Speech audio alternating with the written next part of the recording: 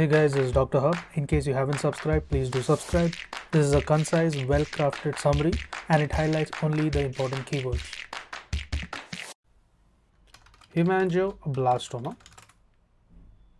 So, here in the hemangioblastoma, it is nothing but a cystic lesion with enhancing mural nodule. So, it has an enhancing mural nodule. It is associated with the VHL, that is a von Hippel Lindau's syndrome so we are writing it as VHL and it is differential diagnosis is the pilocytic astrocytoma. There is a pilocytic astrocytoma. Next, there is also the hemangioblastoma. It is present in an adult. It is present in case of an adult. To learn and grow daily like this, please do subscribe.